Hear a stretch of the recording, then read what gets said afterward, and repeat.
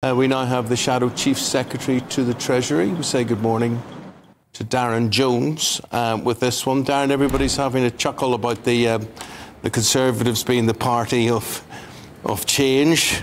Uh, were you chuckling? Uh, yes, uh, quite frankly, um, uh, but also look, we, you know, here in Westminster, we always love the who's up, who's down, who's back uh, stories. But what really matters is whether the Conservative Party, uh, its, its, performance is going to improve. Uh, for people at home, they will know that the economy is heading in the wrong direction, that the cost of living is an ongoing problem for them, that the Tories crashed the economy last year, resulting in higher mortgage payments, that our public services are in crisis, and I'm not sure they really mind who's around the cabinet table. They just want a Conservative Party that will hopefully get a grip of the country again, which, unfortunately, based on the past 13 years, I don't suspect they will though. I mean, just a few days ago at the weekend, Survation did this poll. They said that if Labour went to an ele- if there was an election today, uh, Sir Keir Starmer would get a bigger landslide than Tony Blair got in 1997. Does the fact, though, that David Cameron, Cameron is back in one of the top offices of state change that? You know, he's, he's an electoral winner. He's had two big successes in the past. Well, that's for the voters to decide, but my observation would be that having David Cameron as Foreign Secretary doesn't solve Rishi Sunak's problems. In fact, it's quite odd uh, to me that Rishi Sunak has had to look to the past uh, to try to bring back a quote unquote grown up uh, to help get a control of the Conservative Party and its performance in the country. If Rishi Sunak was a good enough Prime Minister, uh, no, but my point still stands. If Rishi Sunak was a good enough Prime Minister, he would be able to get a grip of this, and he's failed well, to do so. Well, I believe it's been done by Labour in the past. Lord Mandelson, Lord Adonis both brought in, uh, not MPs at the time, so it's an allegation you can lay to your previous leaders as well.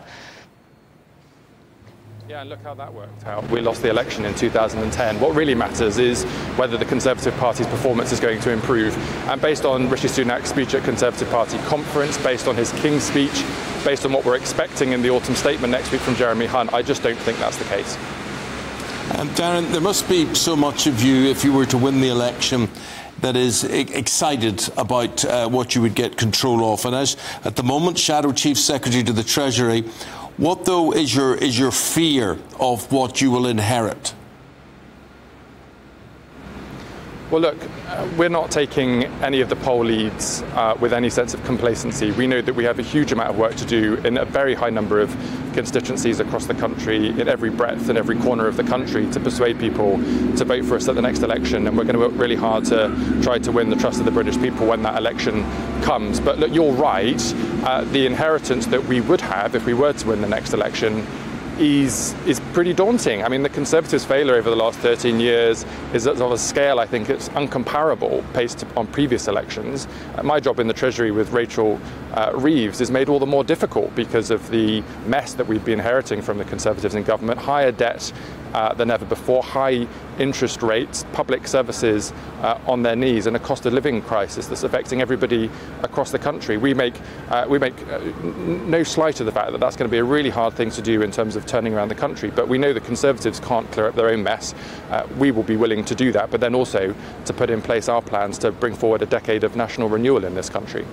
I believe you're putting pressure on Tory MPs with a motion to ban Truss style budget meltdowns again in the future. How will you be doing that? Um, and I ask you this because it's the very day that Liz Truss is, uh, through her group, the Growth Commission, calling for pre budget. Uh, tax cuts, spend reforms to boost GDP ahead of uh, the autumn statement.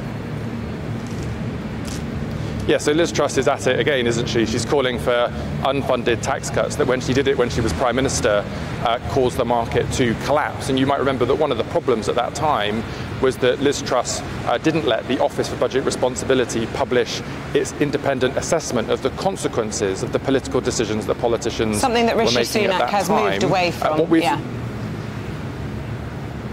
short, but what he can do this evening is vote with us in the Labour Party to give additional statutory powers to the Office of Budget Responsibility so that it has the independence to publish that independent assessment at any major fiscal event, irrespective of whether a politician says yes or no. We think the public deserve that transparency, and we think politicians uh, would be better uh, by having that check and balance in the system. So let's see if the Conservative Party votes with us this evening. It shouldn't be a controversial vote. Okay. Thank you, Will. Darren Jones, good talking to you. you. Darren's the Shadow Chief Secretary to the Treasury, speaking to us live there from Westminster. We'll leave it there. Thank you very much.